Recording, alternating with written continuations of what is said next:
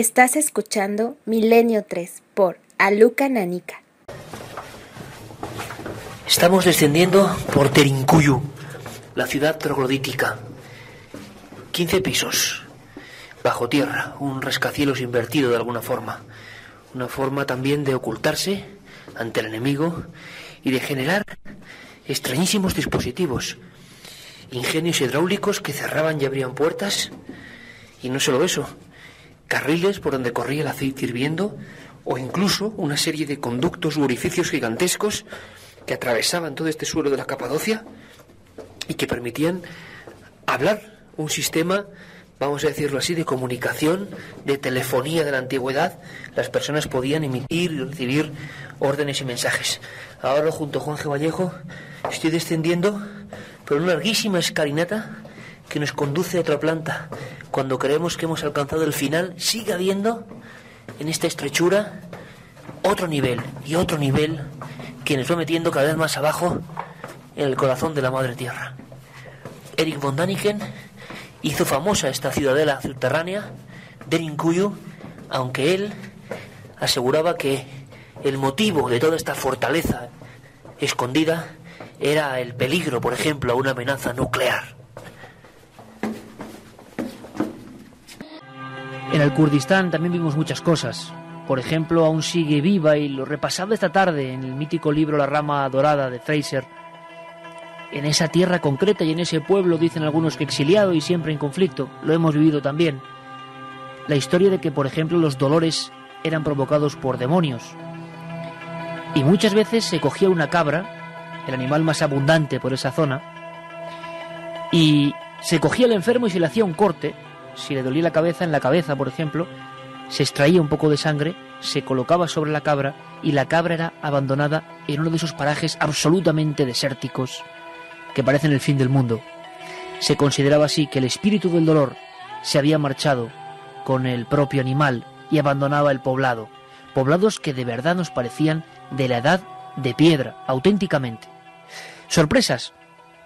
Llegamos a un, a un valle donde la sensación de final de la vida era absoluta, huecos en la piedra. Y cuando uno observaba, se daba cuenta de que eso que parecían simplemente cuevas eran habitáculos e iglesias rupestres. Cuando uno entraba sin vigilancia, sin cordeles, sin tickets, dentro de esos huecos de la piedra, se encontraba pinturas del siglo X, del siglo IX, del siglo VII, del siglo VI, que serían motivo de cualquier museo cuando se encontraban figuras de demonios, de bestias, o simplemente la recreación de la Sagrada Escritura con todo caras absolutamente negras, la sensación ahí dentro, metido en la roca viva de la caverna, eh, provocaba una sensación extraña de conectar casi con algo a nivel subjetivo, quizá lo mismo que sentían aquellas personas. Una de las iglesias que más nos impresionó estaba en una zona con leyenda que ahora os queremos contar. Esas leyendas que uno recoja a la pluma y que en el fondo son la antropología del mundo y que también son el misterio del mundo. Hay un lugar cerca de Soganli llamado Carabás. Carabás Quilise, la iglesia de Carabás. Em, no hay realmente un pórtico, no hay escalinatas concretas, sino peldaños de piedra.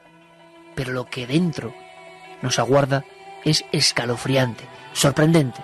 ¿Queréis saber por qué? ¿Queréis escuchar los sonidos de ese por qué? Yo y el equipo lo vivimos así. Véanlo.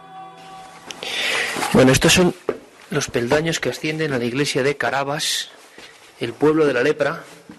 Entramos ahora mismo en una iglesia troglodítica auténtica y Carmen y Juanje que están examinando las, las pinturas muy de cerca.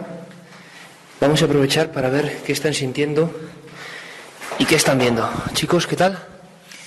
Hombre, la verdad que hay lugares que por encima de lo religioso transmiten un sentimiento humano. Y este, la verdad que en el viaje que llevamos hasta ahora por Capadocia es el que más me ha impresionado. Carabás, la iglesia negra, la iglesia de la oscuridad. Impresiona porque realmente todos los rostros de los iconos, de las figuras que aparecen de los apóstoles y hasta del mismo Cristo están teñidos de negro. O esa figura con peluca roja enfrente del Dios Salvador que tenemos en el altar que realmente pues provoca una sensación de desasosiego como la que tuvo que vivir la gente que estaba aquí hace mil años. Estamos aquí sentados junto al altar precisamente. Hablábamos de unas pinturas que llaman la atención. Eh, algunas de una iconografía que pocas veces hayamos visto. Mm, son poco comunes, sobre todo, además siendo tan antiguas, porque vemos que aquí hay pinturas desde el siglo VI.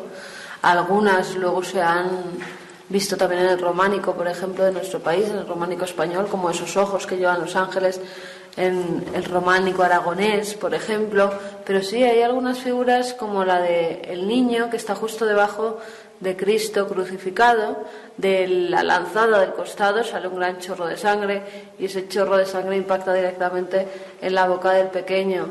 Y también, como decía Juan G., justo en el, en el altar, en la cúpula, hay varias imágenes extrañas. Hay dos Cristos y justo enfrente de ellos pues hay una especie de niño como de forma cadavérica la cara, con los ojos muy marcados, sin pupilas, el pelo muy rojizo, que se enfrenta directamente con lo que es la escena de la divinidad. Pues voy a ir a observarla en unos instantes.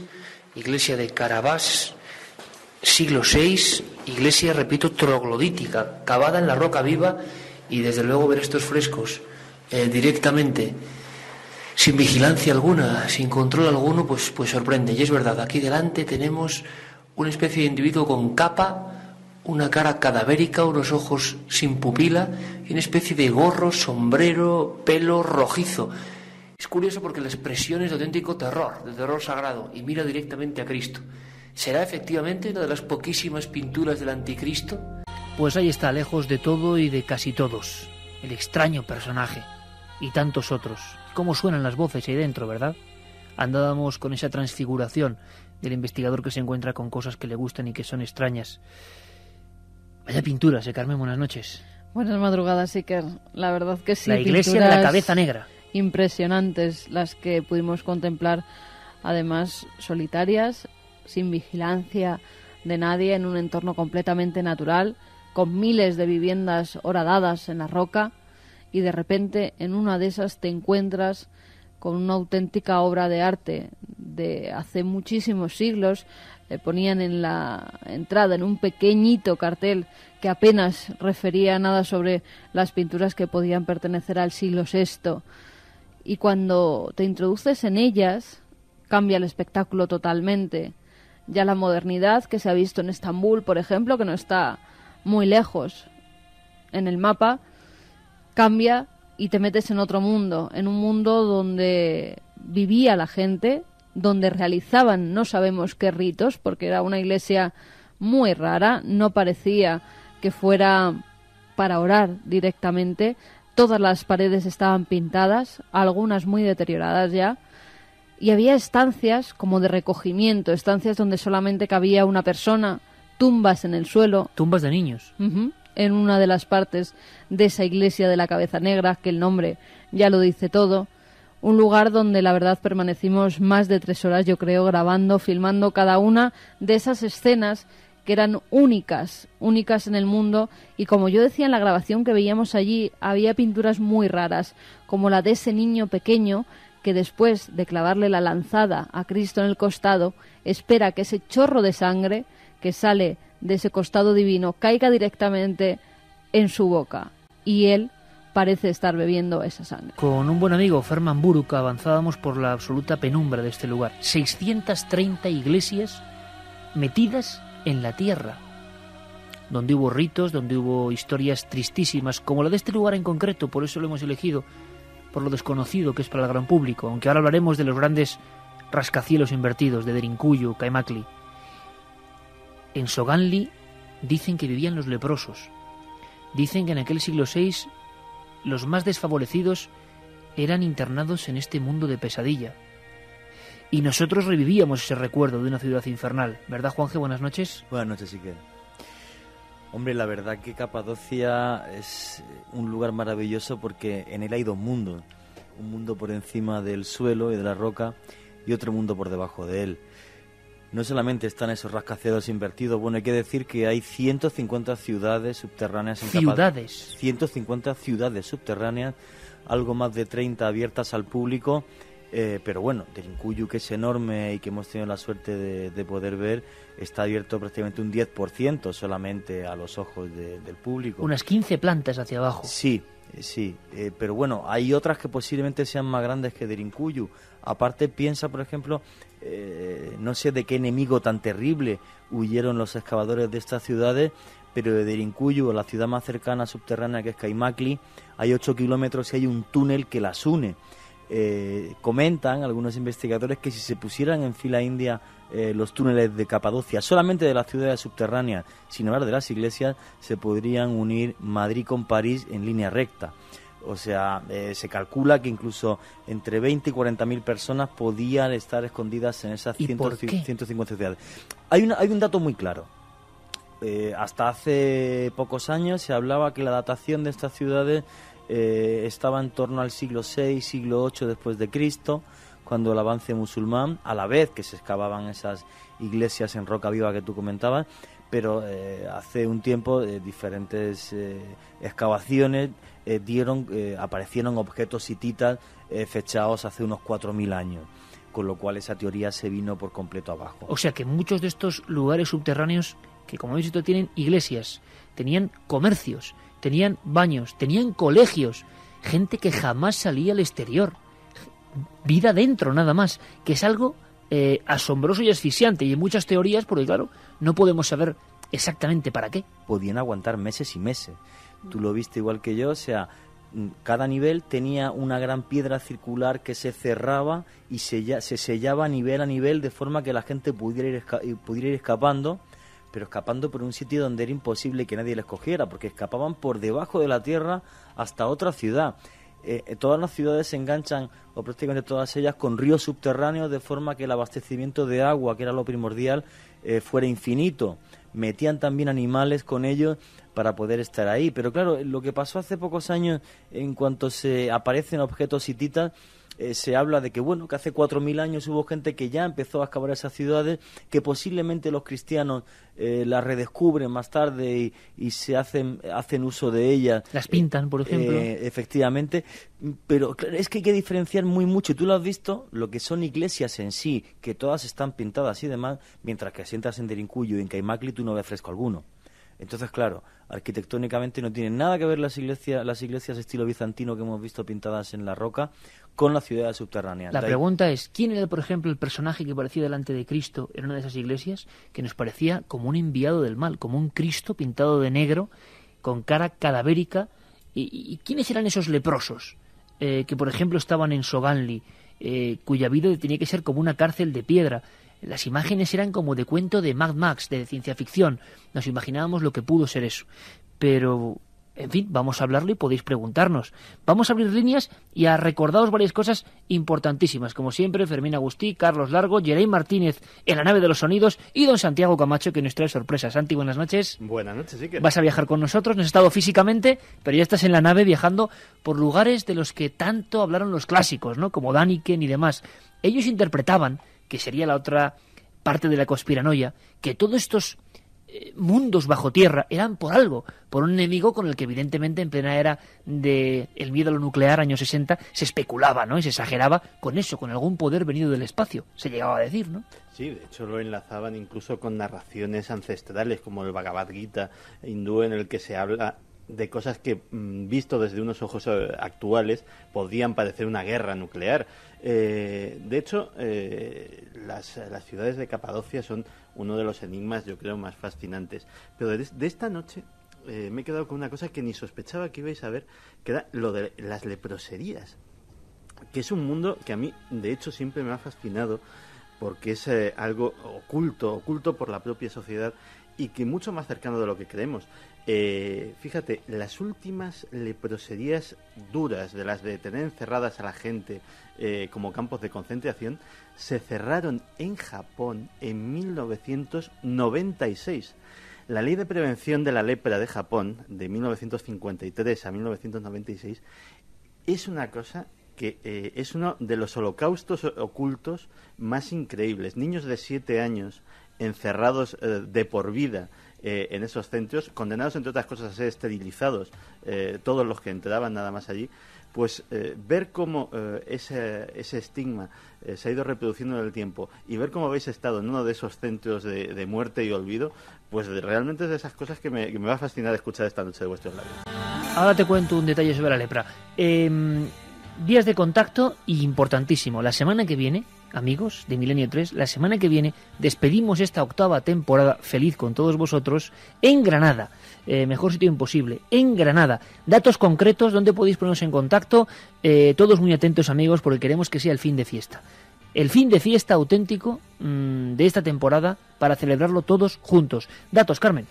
Próximo día, 27 de junio, estamos en Granada. El programa lo realizaremos en el pabellón 2 de la Feria de Muestras de Armilla. Pabellón 2 de la Feria de, Armue- de Muestras de Que es Armilla. prácticamente ahí está, Al. Granada capital, vamos. Sí, eh, para ser exacto, se lo separa la ribera de un río. O sea, está de Granada, está en el término municipal de Armilla, pero a escasos 3 kilómetros del centro de Granada. ahí. Repíteme, Un sitio Carmen, muy grande, y, y y una vía de contacto mail, ¿no? Pabellón 2 de la Feria de Muestras de Armilla.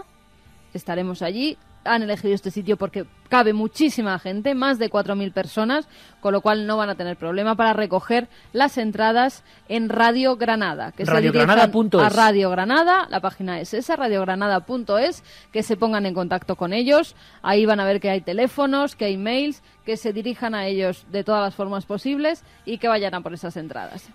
Próximo viernes, fin de fiesta, amigos. Y Próximo queremos estar, sábado, Iker. Próximo sábado, estoy yo ya. Próximo sábado, fin de fiesta, queremos estar Día todos juntos. 27. Día 27. Seguiremos informando en estas tres horas y abrimos vías para esta noche. Vamos a abrir vías de contacto, como siempre el 7640, palabra clave milenio, espacio, vuestros mensajes, milenio 3 con número, arroba cadenaser.com si decidís escribirnos un mail, porque tal vez alguno de vosotros haya visitado ya estos lugares de la Capadocia de los que estamos hablando y también a través de la página web de la cadena ser cadenaser.com donde podéis dejar vuestros mensajes y además leerlos en tiempo real. Luego, repito, investigación en vivo, un personaje fascinante y un hecho luctuoso, un hecho terrible que ha pasado muy cerca de la radio ayer mismo y que encierra un misterio y que es terrible, repito. Así que el programa viene duro, viene fascinante. Eh, hablabas antes de la lepra eh, y hemos estado en muchos lugares. Mm, algunos, cuando nos bajábamos y yo fiel a mi costumbre, porque creo que en la radio los sonidos grabados in situ tienen su fuerza, eh, me quedaba alucinado con el aspecto que daba todo eso. Esta era la leprosería de la que ahora vamos a hablar y la veíamos mirándola de frente bajo un sol de justicia así. En las inmediaciones de Soangli da la impresión de que la humanidad se ha extinguido y que solo quedan restos de ciudades que aparecen en esas novelas del futuro. Ciudadelas de piedra, ventanucos. Da la impresión de que es otra civilización la que vive aquí, en un contacto estrecho con la naturaleza y debajo de un valle inmenso de paredes de roca que se extienden hacia los cielos. Aquí estamos, frente a algunas iglesias rupestres únicas en el mundo. Nos contaban que precisamente en Soganli se habían concentrado todos los leprosos y la lepra todavía continúa. Eh, yendo a otros lugares, mucho más al sur, yendo al Kurdistán, eh, éramos los únicos turistas y, pudimos ver a gente que todavía tenía las secuelas, por desgracia, ¿no? de esta enfermedad, que ahora es una enfermedad, pero que en tiempos no tan lejanos, como decía Santi, era un auténtico estigma. Y allí Juanje nos contaba nuestro amigo Ferman Buruk que se concentraba la gente a morir. Y esa gente iba a la iglesia de Carabás, quizá pintaba, doradaba la piedra y se postraba ante figuras extrañísimas, incomprensibles, con una iconografía que nunca habíamos visto eh, en otros lugares. eh, y por ejemplo, uno iba pisando tumbas de niños pequeñísimas, todavía ahí, sin vigilancia de nadie. Es que hemos tenido la suerte de ver, y además mm, tenemos que agradecer aquí al Ministerio de Turismo de Turquía y a Pasión Turca, que son los que nos han guiado en este viaje, eh, el hecho de, de poder ver la Capadocia desconocida. Yo tuve la suerte de estar en Capadocia hace un año, pero, pero no fui tan afortunado de, como en este viaje, ver esas partes de Capadocia totalmente desconocidas, como es el Valle de Soganli, un valle en el que se abandonaba a los leprosos, en el que se les dejaba pues un poco de pan duro y de comida, digamos, en, en- en la parte eh, más cercana a las poblaciones eh, del valle. Y claro, en aquellas iglesias, en aquellas cuevas, eh, vivían y morían como buenamente podían. Lo que no podíamos imaginarnos nosotros en ningún caso es que, eh, pues eso, fuera de ese circuito turístico, podríamos pisar unas iglesias con un contenido tan críptico como el sufrimiento que la gente que las pisó, ¿no? Condenados en, condenados en vida a la más terrible de las muertes, el olvido aparte de la lepra. Entonces, claro, con esa iglesia de Carabat, como tú dices, abandonada de las rutas de turismo, abierta a cualquier visitante sin, sin ningún problema, como estuvimos nosotros, pues había unos frescos que a mí me siguen inquietando, como bien decía Carmen, y aunque eh, sea repetirlo, pero ese niño vampiro chupando la sangre de Cristo, cayendo a ¿Qué chorro. pintaba? ¿Alguien nos puede decir, nos puede ayudar? Si alguien sabe de iconografía cristiana, Sí. ¿qué pinta eso? Un niño sorbiendo sangre de Cristo. Hay, hay más pinturas así, lo que pasa ¿no? que son muy extrañas, pocas, ¿eh? Y sobre todo en, en el altar, en la parte de arriba de la cúpula, enfrente del Dios creador, esta figura desconcertante, con el pelo rojo, con ojos mortecinos. Yo pienso que es- estaba enfrente de Cristo, desde mi punto de vista, debe ser el anticristo. ¿Quién más cerca puede tener el infierno que un leproso abandonado a su suerte a punto de morir? Eh, el anticristo no ha sido dibujado muchas veces. Hay una leyenda, eh, incluso de un vagabundo que se cuenta, eh, y que el vagabundo se llama Carabás, por cierto. eh, un vagabundo que regresa como enviado del anticristo. En fin, una historia rarísima. Y nos sorprendió mucho ver esa figura como con un turbante con el pelo rojo, los ojos sin pupila, la cabeza como de una calavera, pero que se parecía realmente a Cristo y que miraba de frente a la figura, ¿no? Eh, ¿Es la pintura del anticristo, tú crees, la que está ahí y a la que podía estar casi dedicada porque era la zona fundamental de esa cúpula? Eh, ¿Son eh, trasvases de dioses malignos? Pensemos una cosa, allí se extiende una zona que llega luego hasta el Kurdistán, donde hasta hace nada, y dicen que continúa, se hace el rito yazidi y la cultura yazidi. Dicen que son 800.000 los turcos, iraquíes o sirios que siguen practicando el yazidismo. Y dicen que su dios es Melek Taus, una especie de pavo real demonio. Hemos visto iglesias, ¿verdad, Juanje? Sí, señor. Donde de repente, que era impresionante, ¿eh? tenéis que imaginaos meterse en uno en una cueva, oscuridad absoluta, un halo de luz, quizá perfectamente programada por esta gente, y tú ves en el templo un tremendo pavo real con manos, Rojo. pintado rojo, que está avanzando. Y muchos amigos de allí de Turquía nos decían, no sabemos qué es, quizás sí lo sabían, pero contaban la leyenda de un pavo real diabólico, o de un gallo diabólico, que se había aparecido para em, intentar embaucar a los ermitaños que allí también se iban a morir. Con lo cual encontramos lugares con tumbas de niños, recintos para morir, de los ermitorios hemos hablado hace poco, pero con estas pinturas y con esta cultura del yazidismo, que por cierto hace no mucho tiempo, hace menos de un año, hubo 32 eh, yazidis muertos, tiroteados, en un autobús por revueltas entre ellos, a favor y en contra. Es una cultura que muchos califican de satánica. Los musulmanes y los cristianos de esa zona consideran que estos yazidis del Kurdistán son satánicos. Su dios, el pavo real, Melek Taus. Y allí aparece en muchos de estos lugares. Y uno se sobrecoge. Ahora bien, Carmen, como decíamos, esa figura, por la expresión que tenía, podía ser el anticristo. Sería una de las poquísimas iglesias donde aparece. Sí, sería una de las pocas iglesias. Lo que pasa que el anticristo se ha representado de muchas formas, desde seres monstruosos, tal y como se describían en los tratados de demonología, hasta niños que más bien tendrían este aspecto, porque este era un ser pequeño, el que veíamos en esta iglesia, era un ser Con una capa. pequeñito, no sé si con una capa o con algo negro que le Como envolvía. adolescente, ¿verdad. Algo así. Y, y con ese pelo rojizo, sobre todo, que es lo que a mí me sorprendía. Porque en algunos relatos, mm, sobre todo en tratados, yo he podido leer algunos que compré hace, hace algunos años, del siglo XVIII, por ejemplo, en el que vienen esas descripciones y algunos dicen que es un niño, el anticristo, de pocos años, con el pelo rojo, con los ojos sin pupila. Lo describen perfectamente esa imagen, con lo cual, además, por la forma en la que está en, en lo que es la cúpula de la iglesia, está justo enfrente de lo que es la divinidad, con lo cual es el contrapunto, ¿no? Siempre lo representan, además, así, o arriba o abajo, o enfrente uno de otro. eh, absolutamente abrasadas por el sol, absolutamente calcinadas por un sol inmisericorde, 600 iglesias en la roca, sin vigilancia de nada ni de casi nadie. Y uno se encuentra sorpresas eh, mayúsculas, extrañísimas, y una que, que, que demuestra lo que es la historia, ¿no? Muchas de las figuras, por ejemplo, de arcángeles están quemando vivos a personas, están cogiéndolos del pelo y están quemando en hogueras a personas. Y cuando uno va al final de una cueva y ve esto, mirando fijamente con esos ojos a los arcángeles o incluso a los ángeles del apocalipsis, escenas del apocalipsis, estamos hablando de zonas O una donde- sábana santa, que te o una sábana santa.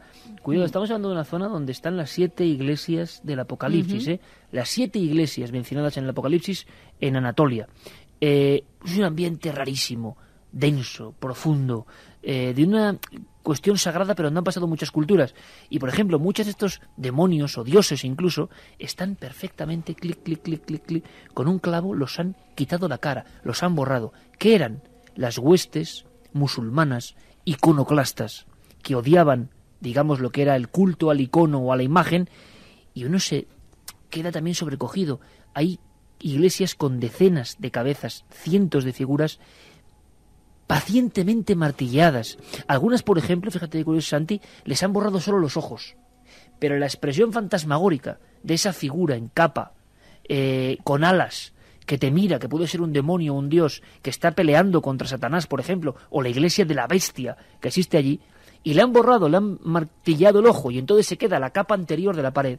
Claro, tú ves un fantasma todavía mucho más terrible, ¿no? La capa anterior que ya tenía dibujos, ¿eh? Y muchos de esos dibujos eran ojos simplemente, ojos flotando en la pared. Era un mundo de pesadillas, sinceramente. Hombre, hay que pensar también que el patrimonio arqueológico de, de lo que es Anatolia es uno de los más importantes del mundo. Ahí está una que dicen que es de las primeras ciudades de la humanidad, que es Cataluyuk, hasta... Efectivamente, hasta ruinas... eh, 9000 ele- antes de Cristo, cuidado, ¿eh? Sí, sí, 9000 sí. antes de Cristo, Sí, Cataluyuk. Sí, sí, sí, sí, sí. Hasta ruinas helenas de la categoría de, de, de Kaunos o de Tlos, como las conté hace unas semanas que estuve, tuve la suerte de poder verlas. O sea, el patrimonio arqueológico de Anatolia está empezando ahora a ser excavado. Ahora. Eh, ahora. Y las sorpresas son constantes. Por ejemplo, No en los para, años no para, 60, no para. La historia de Pozo Profundo, que luego me la cuentas, Sí. uno de los grandes clásicos, ¿no? Y yo no quiero es decir cansar a la gente, simplemente quería, como acabamos de llegar, dar un par de pinceladas porque es nuestra obligación. Y ahora vamos con muchos más temas. Eh, sorpresa grande, bueno, cuando uno va bajando, bajando, bajando, y dice, pero esto para qué estaba hecho. Eh, Derinkuyu. Vamos a hablar un poco de Derinkuyu y Kamakli. Dos auténticas torres gemelas, que se entienda la similitud, bajo tierra. 10.000 personas. ¿Qué hacían ahí? Con altares, con inscripciones, con colegios, como decíamos, con la gente huyendo. Y yo decía, ¿y las enfermedades?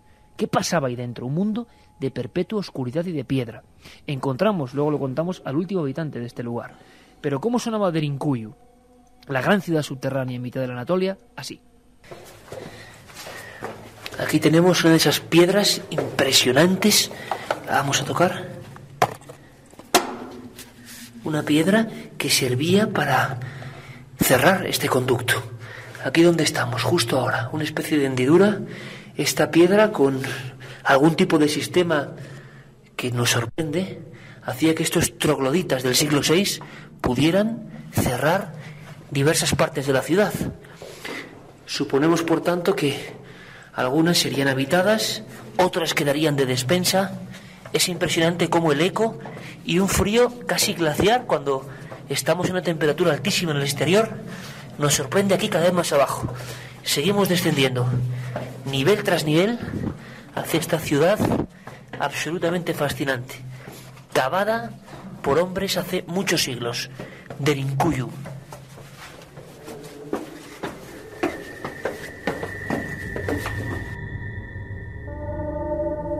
Y Derinkuyu hoy no ha cambiado mucho desde el día de su descubrimiento. Nadie intuía que debajo del pueblo, un pueblo extraño hay que decirlo, un pueblo solitario a pesar de la cantidad de gente que vive allí, el sol en mitad de la plaza, no había casi gente cuando estábamos nosotros. Y una gran sorpresa debajo, bajo el suelo, generaciones y generaciones se habían escondido de algo. Hmm. Bueno, es que Derinkuyu ya de por sí quiere decir pozo profundo. Con lo cual imaginemos no una ciudad entera excavada, es una roca bastante blanda porque es como roca volcánica, con lo cual es fácil excavarla. Eh, Derinkuyu es descubierta en 1963, además por una casualidad. Eh, un vecino mm, de esa localidad está haciendo reformas en su casa, decide tirar uno de los muros y se encuentra con una habitación al otro lado. Después de ese muro tira otro y hay otra habitación más y es entonces cuando se descubre la ciudad de Derinkuyu. Se cree que hay hasta 20 pisos hacia el centro de la tierra. Ahora mismo hay excavados que se sepa o que estén abiertos al público ocho. Ocho que pudimos estar viendo esas estancias donde tenemos cocinas, donde tenemos establos, donde estaba la escuela también, donde había habitaciones para cada una de las familias, había una especie de capilla cruciforme, la pudimos ver allí, como tenía el altar al fondo y los dos brazos que hacían la cruz y el tercero que era el más largo, donde se reunían. Esa, esa iglesia daba una especie de salón de reuniones, donde al parecer pues allí debatían y de esa sala salía el único cuerpo que por ahora se ha encontrado en Derinkuyu. Si te metías hacia la derecha en una sala que iba todavía más hacia abajo, muchos metros más hacia abajo, si recuerdas, Juanja, estuvimos bajando, al final del todo había una tumba. Una tumba de donde se rescató un esqueleto, esqueleto que se llevaron a hacer los análisis pertinentes del que no se ha vuelto a saber nada. Absolutamente nada. Ferman Buruk, en lo profundo de Derinkuyu, nos daba más datos. Sí, dicen, calculan 10 kilómetros. Comunicaba con la ciudad de Caimacle. Entre las dos ciudades hay una distancia de 10 kilómetros. Este túnel que tenemos aquí. Este túnel. Y estamos ahora en el séptimo piso. Y todavía tenemos otro piso abajo. Es para el gobernante, para los gober- eh, gobernadores. Otro piso abajo. Esta sala era para juntarse los obispos, como están cerca de la iglesia, o unirse a quien esté en la sala. Sistemas de aire acondicionado de la antigüedad, sistemas de vocalización de mensajes, es decir, desde la planta 3 a la 16 uno podía enviar un mensaje y ser recepcionado, eh, conductos donde salía presión aceite hirviendo para cualquier enemigo que se acercase. ¿Qué te sorprendió especialmente de Derinkuyu? O de Kaimakli, que es la otra ciudad gemela interconectada. Hombre, lo que más me sorprende es cómo alguien puede hacer mentalmente un esquema en tres, en tres dimensiones de una ciudad subterránea. Claro, es que Porque cuando uno está ahí parece tú- que es una cueva y Claro, no, no es una tú cueva. construyes una ciudad, eh, perdona, un edificio hacia arriba, bueno, pues cuadriculas las plantas y haces que tenga una cierta geometría. Aquí no, aquí iban excavando, se ve que conforme les iba haciendo falta el que entrase más gente, más gente, más gente, y luego otra cosa, el, el- eh, todos son suposiciones en torno a las ciudades subterráneas de Capadocia, porque no hay ningún texto escrito eh, que nos cuente realmente su función. En tiempos de Heleno sí creo que le- los griegos recogieron en, en algunos textos que había, o sea, que los habitantes de Anatolia vivían en ese tipo de, de ciudades. Pero qué extraño decidir vivir bajo Pero, tierra, ¿no? Claro, pero si los griegos ya contaban esta, eh, este hecho es que las ciudades son muy anteriores, obviamente, al, al tiempo que se les da, que sería siglo VI, siglo VII, siglo VIII. Bueno, ya es una cosa que eso eh, se ha tirado para atrás, ¿no? Se habla ya del tiempo de los hititas y sí de una reutilización posterior, incluso por algunos cristianos, porque en algunos sitios sí que se veían lo que se pueden interpretar como claros altares cristianos pero la idea de construir esto eh, no es cristiana en absoluto. Entonces, todos son suposiciones. Luego, lo laberíntico de estas ciudades, ¿en qué mente las concibió? ¿Qué sistema? Porque es muy fácil perderse. Eh, es súper fácil perderse. eh, y luego otra cosa, el atacante tenía que atacar por un, pra- por un pasillo de metro y medio. O sea, aunque fueras con un ejército de 10.000 soldados, no servía para nada. Y las trampas Es- serían muy fáciles para defenderse ahí. es la, me- la mejor, el mejor sistema defensivo que he visto jamás en mi vida. Pero claro, Lo que pasa 10.000 que personas. no contaban con una cosa, con que los invasores les envenenaban los pozos para que estos salieran. Y así se terminó Era con la, estas ciudades. Claro, era la única forma que tenían mm, que la gente muriera, ya que no podían salir y atacarlos fuera porque se iban escondiendo cada vez más abajo. Lo que hacían era envenenar sus aguas para que así, de una forma o de otra, tuvieran que morir. Lo alucinante de esta historia es que eh, las ciudades acabaron desiertas, la gente vivía en los pueblos de arriba, desde hacía quizá mil, dos mil, hay quien dice tres mil o cuatro mil años, había esas construcciones y ese mundo abajo y nadie lo sabía, no quedaba recuerdo remoto como si se hubiera Nada. esterilizado por completo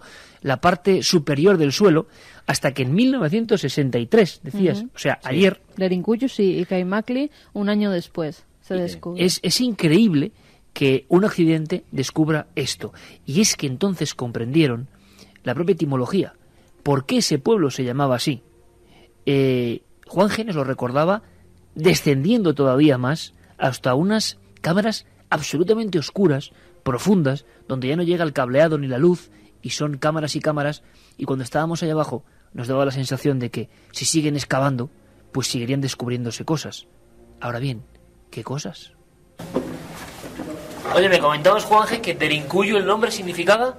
Pozo profundo. Lo curioso es que el descubridor Homer de Mir, que sabía ya de la existencia de algunos niveles hechos en roca En lugares como este, cuando descubrió la ciudad subterránea en la que estamos ahora, Derincuyo, entendió perfectamente el significado del nombre del pueblo, Pozo Profundo. Pero ni él podía llegar a imaginar que bajo sus pies había prácticamente hasta 10 niveles de pisos excavados en los que podían llegar a vivir 10.000 personas. Pues de esta forma tan simple, amigos, planteamos uno de los grandes enigmas de la arqueología. En la Anatolia, en ese lugar donde se dieron los primeros pasos del Neolítico, otro salto impresionante del mundo de los cazadores a la agricultura. Cuando uno va a las enciclopedias se da cuenta de que precisamente en la Anatolia en el Kurdistán ocurre este milagro. Dicen que la gente incluso perdió musculatura, perdió capacidad ósea, se volvió más baja. Nadie sabe por qué en un momento dado eh, la gente rehuyó del sistema ocioso casi de los cazadores y empezó con algo que es otro de los grandes misterios. ¿Por qué en esa franja concreta entre el Tigris y el Éufrates que hemos visto, que hemos visitado y teníamos la sensación de estar casi chapoteando, ¿no? En un lugar del que tantas veces se ha oído hablar, el nacimiento de la humanidad como civilización. Y, caramba, eh, ¿por qué empezaría y cómo descubrirían que había que domesticar animales 10.000 antes de Cristo, primeros animales, el perro, el primer animal domesticado, el mejor amigo del hombre. ¿Por qué se domestica? ¿Quién lo hace? ¿Por qué alguien descubre que en vez de cazar y comer, que era más cómodo, hay que cultivar y guardar y varias generaciones sufren de hambre? ¿Qué pasó exactamente allí? ¿Quién les instruyó? ¿Por qué exactamente allí? Pues habrá que seguir investigando, porque es uno de los grandes enigmas de este mundo y sobre todo muerto y vivo. descifrar las obras de ingeniería tan grandes que hizo esta gente porque recordemos que para respirar tenían como pozos de ventilación, grandes chimeneas que iban directamente desde la parte superior hasta los pisos más inferiores. Todo eso lo tenían que conectar con las distintas salas para que pudiera entrar el aire y no perecer justo debajo de la tierra. ¿Cómo hacían esos hornos donde cocinaban dentro de las cuevas donde vivían? Bueno, unos ingenieros que todavía muchos eh, de los profesionales que van a visitar estas ciudades no se explican cómo en aquella época eran capaces de hacer estas grandes obras.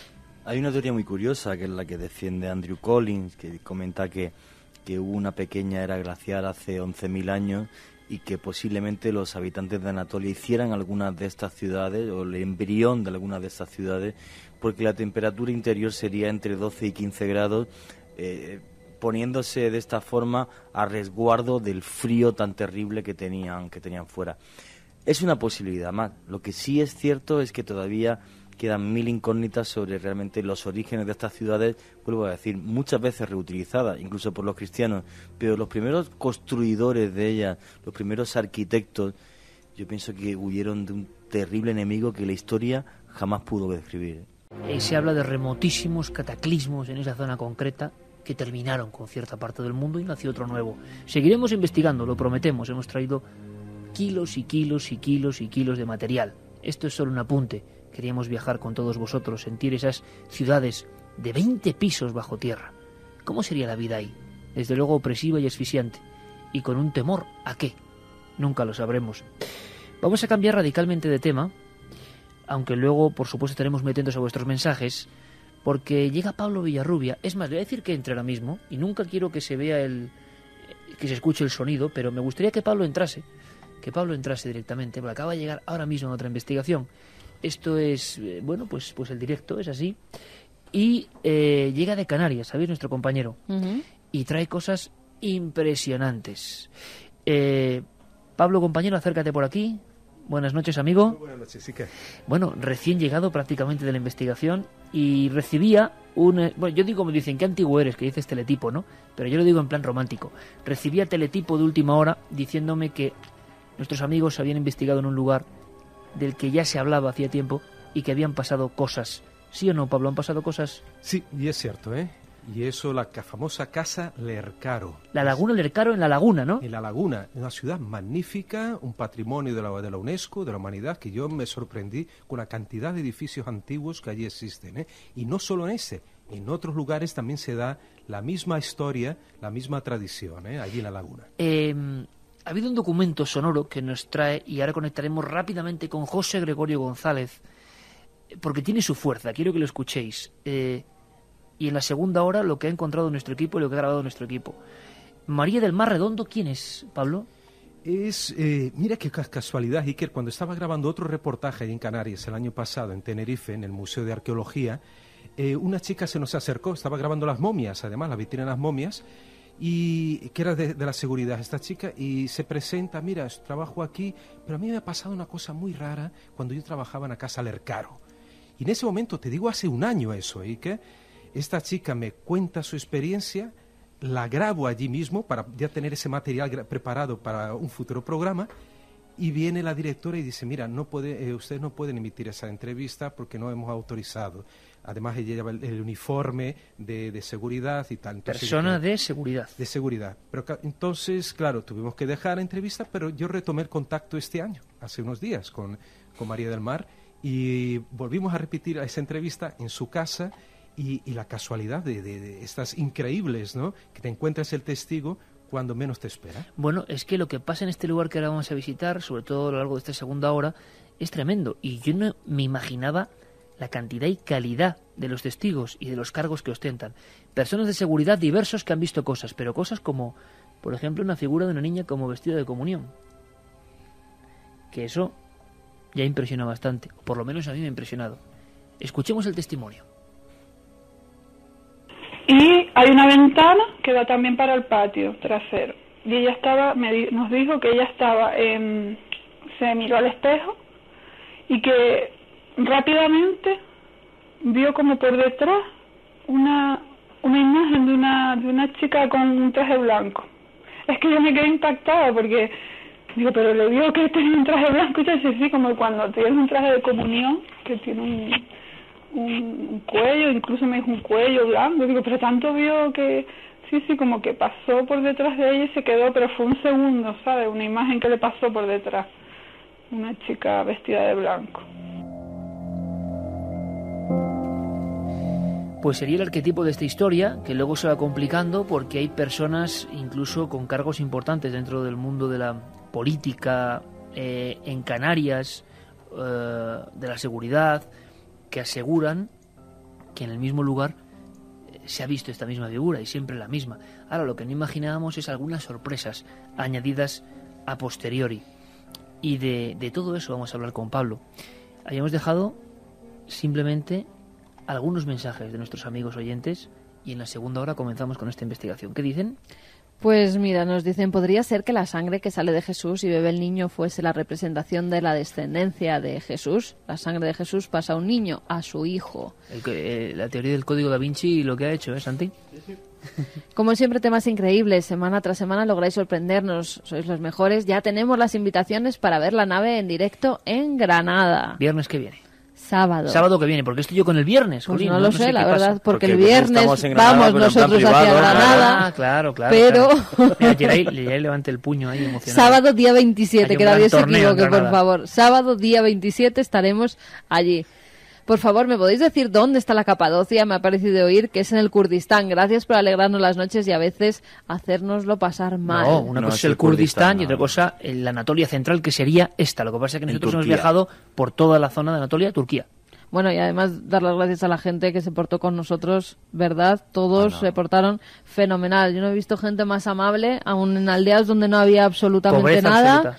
Pues en, en aldeas donde no había nada y nos daban toda su comida y nos ofrecían, bueno, La gente lo pasamos muy bien. En Capadocia, en el Kurdistán turco, la gente maravillosa.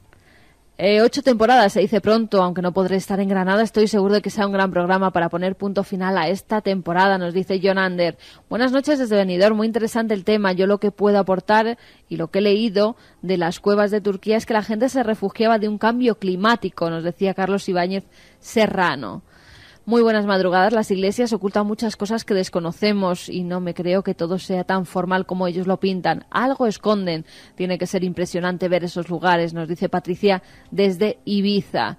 Felicidades por la temporada que lleváis, es estupenda, pero qué horror entrar en esas cuevas. Yo sería incapaz por la claustrofobia. Menos mal que os tengo a vosotros para enseñármelas. Gracias del Meza desde Estepona. Es verdad que la claustrofobia, si alguien la tenía... No, no puede entrar, no puede, entrar, Yo estuve en la iglesia de Carabás y solo de pensar lo que allí hubo se me ponía la piel de gallina. También nos decían buenas madrugadas, milenarios, somos Ramón y Merce de Barcelona. Necesitamos saber cómo conseguir las dos entradas para Granada desde Barcelona. Llegaremos. Pues nada, que se pongan en contacto con Radio Barcelona, que seguro que se las guardan para que esa noche puedan estar en la nave del misterio. Me habéis recordado las cuevas de la Balma llenas de ritos ancestrales endemoniados y la figura de las caspolinas guardando viejos ritos, nos dice Carlos Ortiz desde Valencia. Con vuestra narración me recuerda a los pasadizos de Edimburgo, cómo lo pasarían de mal, nos dice Elena desde Madrid. Me recuerda esta historia a la ciudad subterránea de Edimburgo, donde encerraban a los enfermos y despojados de la sociedad hasta hace poco. En fin, luego seguiremos con muchos más mensajes. Como siempre, es el lienzo en blanco en cadenaser.com. Oye, Pablo, pero en 15 segundos, ¿cómo es el lugar donde habéis estado investigando? Es una casa antigua de madera, eh, muy grande, con un, patio espectacular. Eh, todo realmente el ambiente está ya mueblado con elementos digamos museísticos hay animales que disecados hay calaveras. Eh, es un ambiente curioso creo que va a interesar además muy muy muy llamativo desde el punto de vista también histórico para ver un poco de la historia de Tenerife es el museo no eh, museo histórico de Tenerife. Y ha habido sorpresas que es lo más increíble. Queréis conocerlas pues seguimos aquí, como no, en la nave radiofónica del misterio en Milenio 3.